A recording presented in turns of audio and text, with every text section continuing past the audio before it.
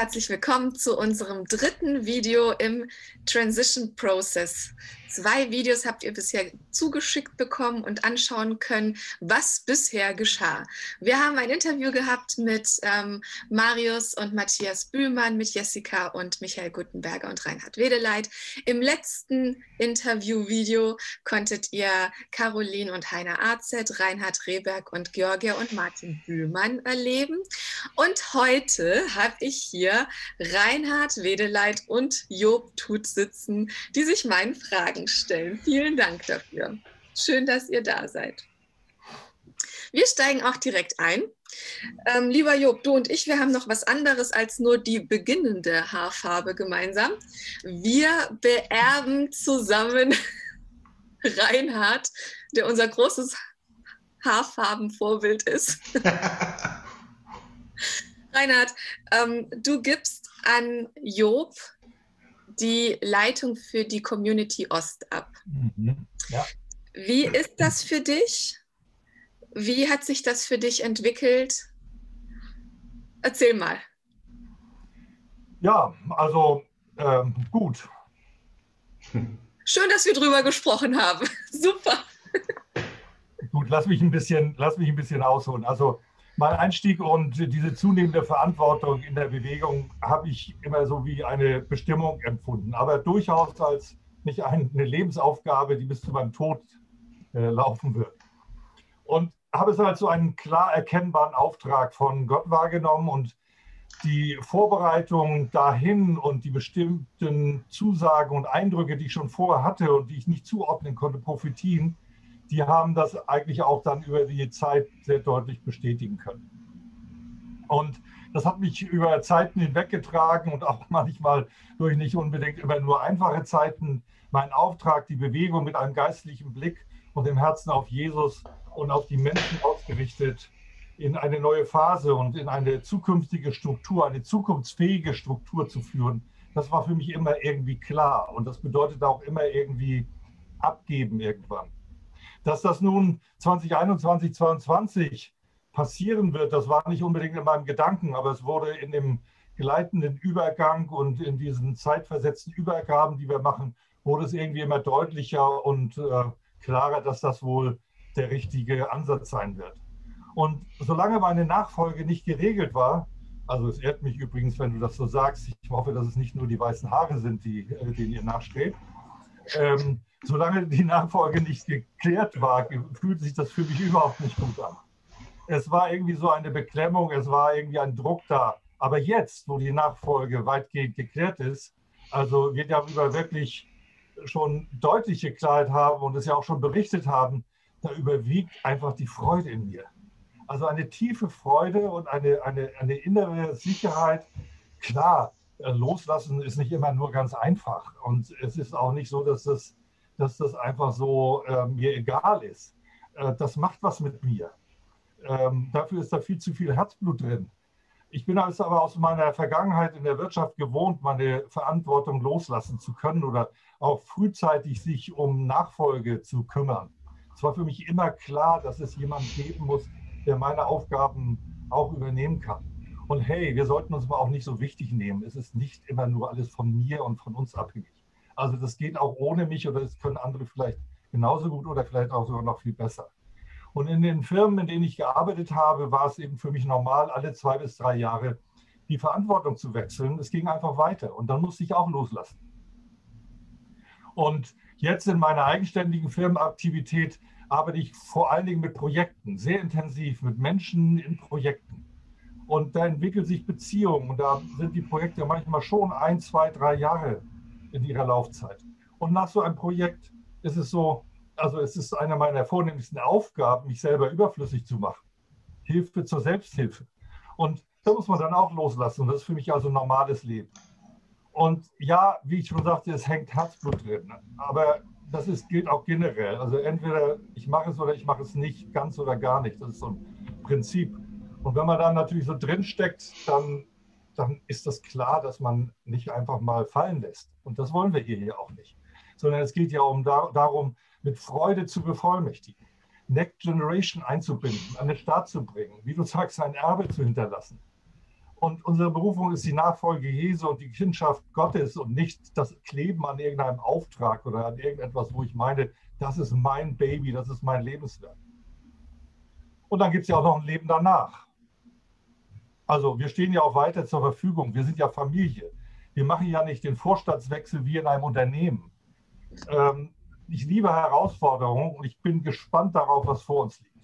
Und in diesem Zusammenhang möchte ich einfach auch erwähnen, wie sehr es mich freut, dass Job jetzt, äh, es geht uns ja auch darum, einfach mal äh, Jobs Gesicht, das ja schon bekannt ist wie ein bunter Hund in der Bewegung, aber trotzdem jetzt mal in der zukünftigen Ausrichtung, dass Job eben als Teil dieses Leitungsteams wird und an den Start geht und dies im Kontext mit der Nachfolge als Leiter der Community Ost. Job und ich, hey Job, wir kennen uns seit Jahren, wir sind gemeinsam unterwegs. Wir schätzen uns, wir können miteinander lachen und wir können um Sachen streiten und wir können uns vor allen Dingen finden wir haben uns immer gut ergänzen können, haben als Team gut funktioniert, konnten kooperativen Führungsstil praktizieren, uns auf Augenhöhe begegnen und da war nicht Hierarchie im Vordergrund. Und vielleicht durfte ich in der Zeit auch ein paar Akzente, ein paar Dinge an dich, Job, weitergeben. Aber zu sehen, wie sich bei dir, Job, Persönlichkeitspotenziale entfaltet haben und du nun für die ganze Bewegung in der Mitverantwortung im Leitungsteam wirksam sein wirst, so wie ja auch du jetzt, Völke und äh, Caroline und Heine Arzet, die du schon erwähnt hast, dort teil sein werden, das sehe ich mit richtiger Freude und mit Dankbarkeit. Ich glaube, dass es für die Community Ost eine gute Entwicklung geben wird, dass es keine Brüche geben wird. Äh, du bist ein beziehungsorientierter Mensch. Du liebst Beziehungen zu pflegen. Du magst es, mit Menschen umzugehen. Ich glaube, das ist so wichtig, dass wir das natürlich in jeder Umgebung, aber auch in der Community Ost eben noch weiter ausbauen. Du sitzt mitten in der Community Ost, du bist in Berlin. Also es passt alles wunderbar. Und insofern empfinde ich das, äh, das Gefühl von Dankbarkeit und auch das Empfinden, wirksam sein zu dürfen. Wirksam sein zu dürfen, auch in dieser Übergabe, empfinde ich wie Stabilität, wie ein gutes Fundament weitergeben zu dürfen. Und immer in diesem Gedanken, was ist das Beste für die Bewegung? Cool, danke schön. Du hast gerade ja auch erwähnt, ähm, dass, dass Job eben äh, Teil des Leitungsteams sein wird. Job, da steht Neuerung an, neue Herausforderungen, auch Veränderungen. Ähm, wie geht es dir damit? Wie hast du so den Prozess bisher wahrgenommen? Naja, ich bin seit 2014 äh, beruflich aktiv für Vineyard Dach und seit dem Anfang eigentlich steht dieser Prozess an. Und äh, da haben wir, da habe ich alles mitge mitbekommen, was so in, die, in diese ganze Entwicklung geschah. Ähm, hab, bin auch Teil davon eigentlich, ja, seit, seit sieben Jahren jetzt. Und sieben ist ja eine heilige Zahl. zumindest. Und ähm, wir sind heute in 2021 und ich empfinde, dass, dass das Leitungsteam oder dieses Prozess echt, ähm, das hat Zeit gekostet. Es war nicht einfach. Aber gleichzeitig habe ich auch empfunden, dass das Leitungsteam äh, um Martin und Georgia mit Reinhard als Co-Bewegungsleiter das echt sich die Zeit genommen haben, einfach Jesus zu fragen, wie geht es weiter? Und äh, ich finde, dass sie das, äh, ich finde, dass, dass trotz dieser, ja, diese lange Zeit, sage ich mal, dass es sehr, sehr gut gelaufen ist. Und ich empfinde, dass jetzt diese, diese, diese Veränderungen, die jetzt dieses Jahr stattfinden, ähm, dass es irgendwie organisch wirkt. Und äh, ich bin einfach froh, da weiterhin Teil davon zu sein. Genau. Ja, cool. Ähm, was motiviert dich denn so für die Aufgabe, die vor dir liegt?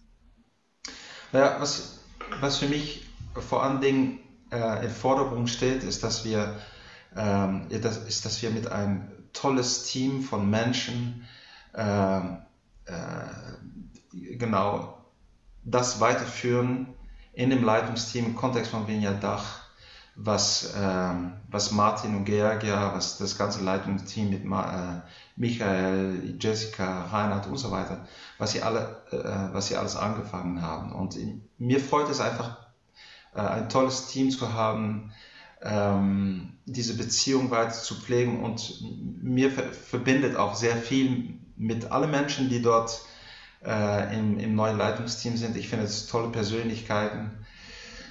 Genau, und ich habe ja in, ähm, äh, ich habe ja in Vineyard Services auch das Vorrecht gehabt, äh, vieles schon mitzubekommen, was auch lokal in den Vineyards passiert. Und äh, wie es Reinhard auch schon gesagt hat, ich bin ja so ein Beziehungsmensch ähm, und ich durfte da in dieser ganzen Zeit, wo ich für Vineyard Services agiere, wahnsinnig viele tolle Menschen äh, kennenlernen.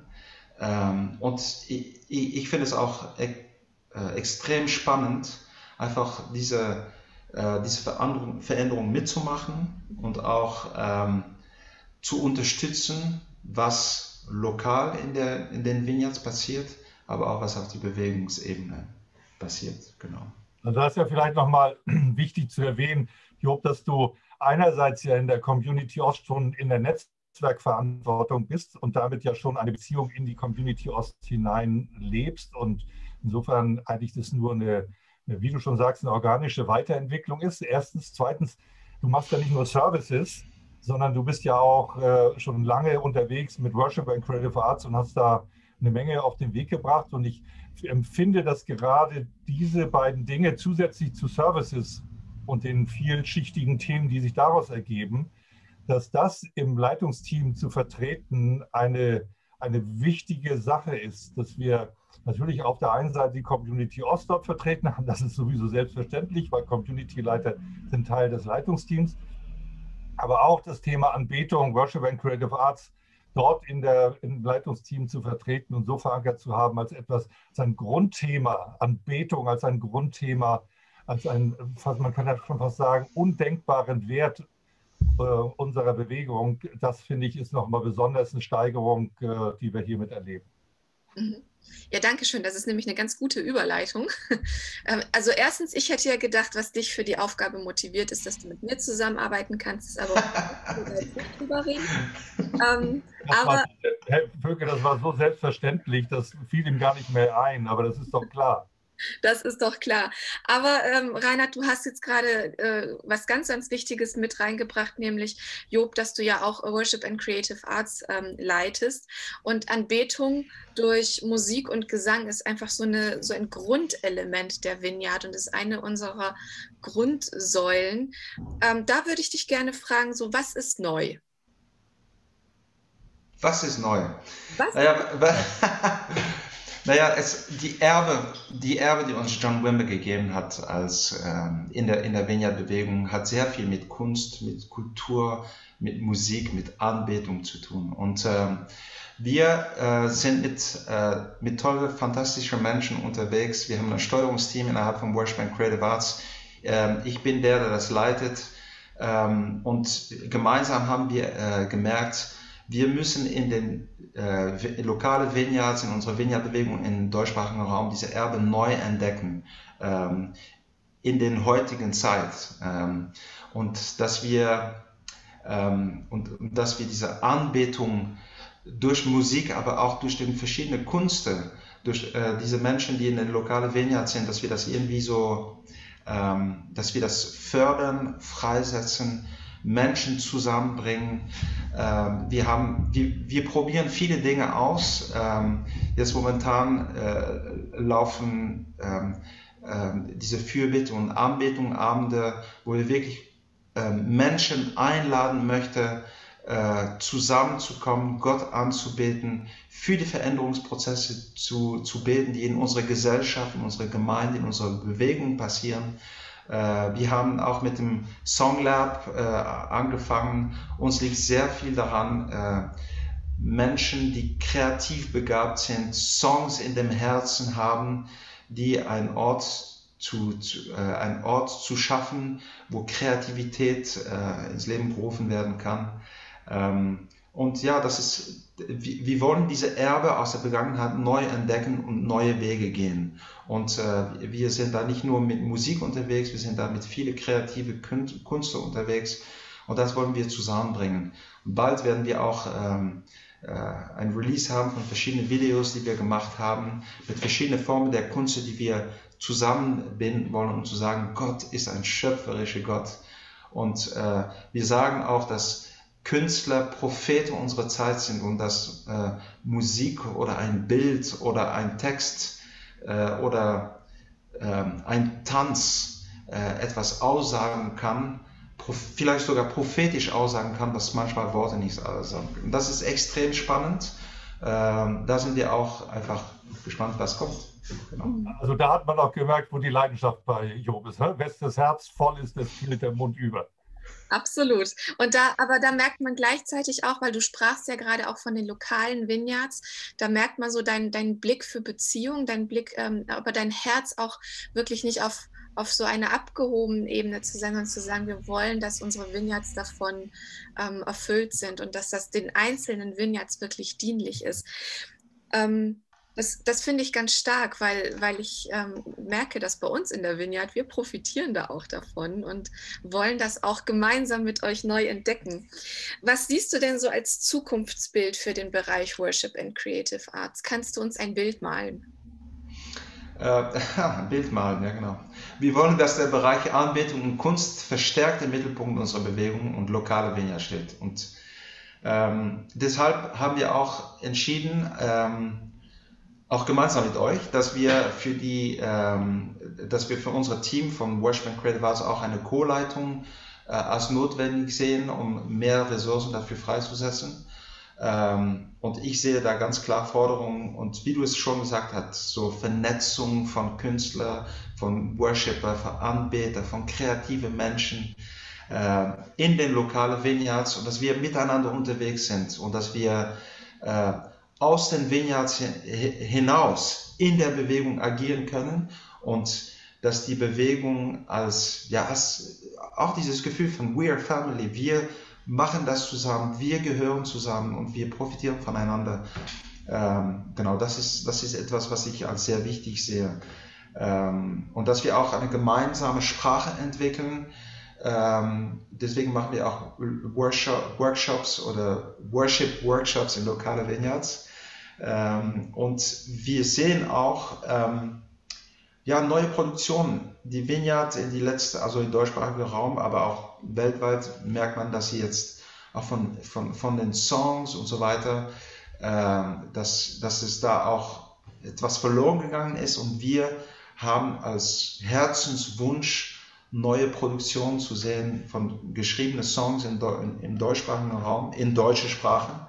Und ähm, Genau, und das ist das, was wir als Bild sehen. Und ein Punkt, das wir auch noch sehen, ist, dass wir auch Künstler freisetzen, um Einfluss in Kultur äh, in unsere Gesellschaft zu haben. Also Künstler aus den Vineyards, die in der Gesellschaft agieren. Ähm, und es wäre cool, wenn wir auch eine Kultur haben in den lokalen Vineyards für äh, ja, Creative Arts. Also dass zum Beispiel eine Vineyard ein eine Galerie wird für einen Abend oder sowas. Oder dass wir Hauszimmerkonzerte machen in unserer äh, Hausgruppe, Kleingruppe oder was auch immer man sie nennt, dass da plötzlich äh, Menschen um diese Kultur, um Kreativität sich sammeln. Genau. Also da merke ich, da ist ganz viel kreativer Fluss, ganz viele Ideen und, und ähm, Träume und Hoffnung. Und ich bin super gespannt, wie sich das entwickelt. Und ich finde aber so schön, dass du auch gerade herausgehoben hast, dass, ähm, dass, dass alle so mit daran mitgestalten können, dass es wirklich um Kultur geht ähm, und nicht nur um punktuelle Events. Das finde ich sehr, sehr spannend. Etwas, was du auch gerade gesagt hast, ist, ähm, du, du, hast das Wort Bewegung immer mal wieder äh, benutzt. Und da würde ich dich gerne noch fragen, wenn du jetzt ähm, Mitglied des Leitungsteams wirst, was siehst du für die Zukunft der Bewegung? Was bewegt da dein Herz? Ja, als ich, bevor ich gefragt wurde, überhaupt um im Leitungsteam zu kommen, habe ich für mich eine Entscheidung getroffen, muss ungefähr vor zwei Jahren gewesen sein. Und da hat Gott zu mir gesprochen von diesem Geist von Josua und Kaleb. Und die, die mich kennen, wissen, dass ich immer wieder mit der gleichen Bibelstelle komme. Aber die beiden, Josua und Kaleb, haben etwas anderes gesehen. Und die haben eine Zukunft gesehen, die haben äh, auf die Verheißungen, die Gott ihnen gegeben hat, äh, gebaut. Und ich habe Hoffnung. Und ich bin 100% davon überzeugt, dass wir auf, ein, äh, auf einem guten Weg sind äh, als Vineyard. Äh, Martin spricht von Gärten der Hoffnung. Ich liebe diese, dieses Wort Hoffnung. Ich habe heute Morgen diese Gedanke gehabt, dass mein meine Leben soll eine Hoffnungszone sein. Ähm, ich, ich, wohne so ungefähr 300 Meter weit weg von, ähm, wo früher der Mauer stand zwischen Ost und West. Und da gab es ja diese No Man's Land. Und ich habe das Bild gehabt, dass, dass wir in der Spannung in der Welt und äh, in der Beziehung zu Jesus dieses schon jetzt und auch noch nicht ganz, dass es dieses, diese, diese, dass es eine Hoffnungszone sind, dass Menschen ähm, etwas entdecken äh, von diesem Gott äh, und dass wir als Vineyard, ja genau, dass wir Jesus-mäßig ihnen auf diese Hoffnung, der für uns ist, äh, hinweisen dürfen. Und ähm, genau, und ich, ich glaube, dass wir als, als Bewegung an einem, ja, wir stehen von neue Kapitel äh, mit Jesus. Und äh, es ist ja ein bisschen wie Mose, der seine Verantwortung abgibt an die Josuas unserer Bewegung. Ähm, und ähm, ja, ich bin froh, ich bin, ich bin glücklich einfach, äh, dieses neue Land gemeinsam mit einem tolles Team und du gehörst dazu für, zu entdecken. Und natürlich mit äh, viele, viele Menschen in dieser Bewegung, die, äh, mit denen wir das zusammen tun werden. Und ich habe auch wirklich auch für die Zukunft sehe ich auch äh, unsere äh, Generation von 18 bis 26-Jährige, weil ich bin so ein bisschen wie Reinhard. Wenn ich in eine ähm, Verantwortung komme, dass ein von den ersten Dingen, die ich anfange zu tun, ist zu schauen, wer könnte der Nächste sein? Wer könnte Verantwortung in die Zukunft übernehmen? Und ich habe versucht, immer diesen Blick zu haben. Ja, cool. Ähm, vielen Dank. Ich finde das so schön, dass du sagst, ich habe Hoffnung. Und ich glaube, das ist etwas, was wir in diesen Zeiten ganz besonders brauchen, nämlich einen hoffnungsvollen Blick nach vorne zu haben, auch wenn es sich ein bisschen unsicher anfühlt. Du hast gerade noch Mose angesprochen. Reinhard, ich möchte dich nicht mit Mose vergleichen. wenn, wenn, wenn, dann wurde ich immer mit Abraham verglichen, aber das ist okay. Mit Abraham wurdest du verglichen? Das finde ich spannend. Lass uns irgendwann mal darüber reden. Aber dennoch bist du ja natürlich jetzt in der Situation, Verantwortung abzugeben, während für mein Hund kommt, während für Job was Neues beginnt, endet für dich ja auch etwas. Und dennoch bist du ja weiterhin Teil unserer Bewegung. Und deshalb möchte ich dir aber diese Frage auch stellen, was siehst du denn für unsere Bewegung für die Zukunft? Ja, gerne. Also ich sage manchmal, ich bin Berufsoptimist. Ähm, und das, das meine ich sogar ernst. Also es ist einfach eine Haltungsfrage. Wie stehst du zum Leben? Und äh, wenn wir mit Jesus unterwegs sind, äh, also wie kann es da angehen, dass wir keine Hoffnung mehr hätten? Und insofern teile ich da das, was Job gesagt hat. Und ich finde es ganz wichtig, dass wir auf der einen Seite schauen, was ist unser Erbe. Zum Beispiel, wenn wir über Worship and Creative Arts, wenn wir über Musik und Anbetung gesprochen haben. Das finde ich wichtig. Und gleichzeitig müssen wir auch aufpassen, dass wir uns nur darauf fokussieren, sondern auch offen sind für Neues, für Dinge, die, die neu auf uns zukommen. Ich glaube, es kommen einige Dinge auf uns neu zu. Die Gesellschaft verändert sich, die Umgebung verändert sich und insofern sollten wir beides in einer guten Balance im Blick behalten.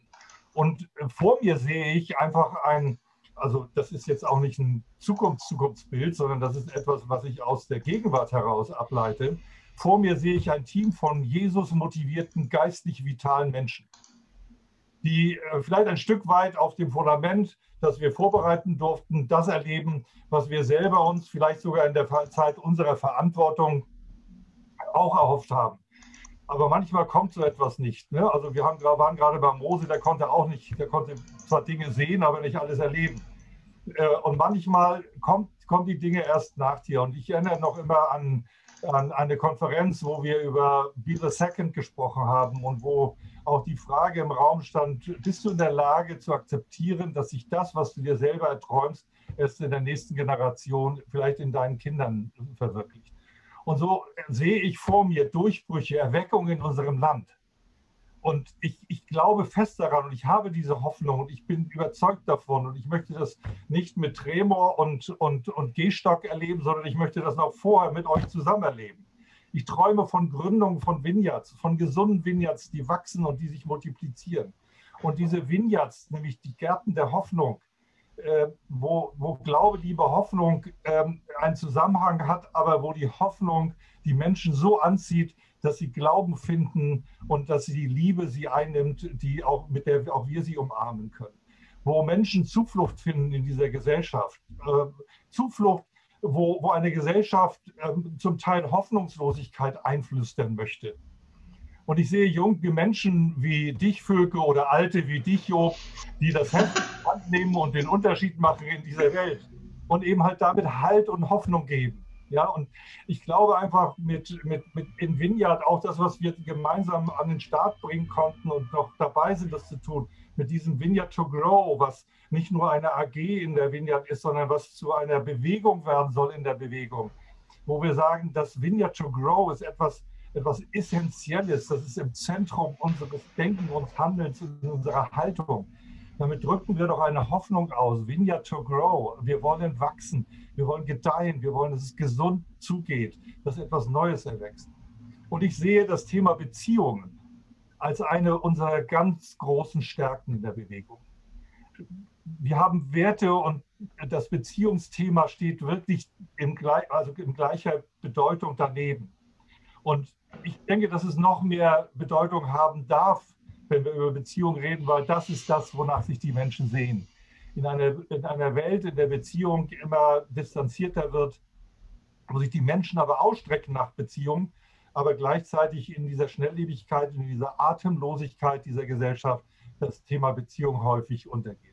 Und dann gibt es da ein, ein Feld, was ich auch noch sehe und wo es vor einigen Jahren in einem Staff-Meeting, da hatte ich auch ein Bild und ich sehe mich heute noch, da gibt es irgendwie ein Video drüber, das Thema, das Thema äh, Einheit durch Vielfalt ist ja etwas, was jetzt auch nicht von mir neu erfunden wird, sondern ganz im Gegenteil. Das ist ja ein Thema, was sich über die letzten Jahrzehnte, Jahrhunderte fast hinzieht. Und gleichzeitig glaube ich, dass wir als Vineyard-Bewegung dort einen Auftrag haben. Ich habe jedenfalls ein Herz dafür, möchte darin auch unabhängig von allem, was an Verantwortung und an Aufgabe in der Vineyard-Bewegung auf mich vielleicht noch warten mag, das ist ein zentrales Thema, wo ich glaube, wo wir uns finden können, dass wir das, das, was uns verbindet, suchen und nicht das Trennende immer in den Mittelpunkt stellen.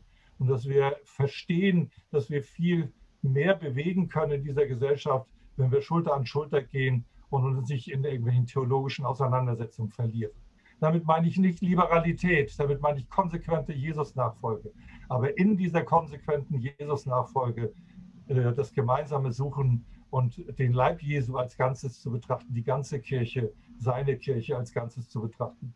Und hier können wir als Vineyard, glaube ich, als Bewegung Akzente setzen und in die Gesellschaft hineinwirken. Und deshalb glaube ich, hoffe ich äh, mit Freude, mit, mit hohen Erwartungen an das, was in der Bewegung noch und in der Gesellschaft noch auf uns zukommt, dass Vineyard dort wichtige Akzente, ihr dort ganz wichtige Akzente setzen werdet.